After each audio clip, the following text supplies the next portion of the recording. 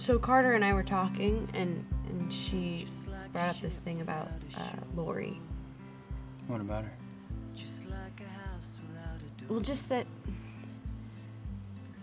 when I started to feel not like myself, and when we broke up, I just found out that uh, she was my biological whatever. Anyway, she she thinks maybe it has to do with that. Does it?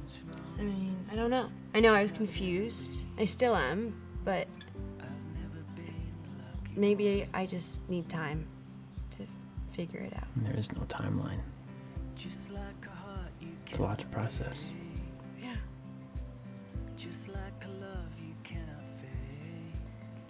Um, it's my mom's birthday tonight. We're gonna have a birthday dinner for her here. If you want to come.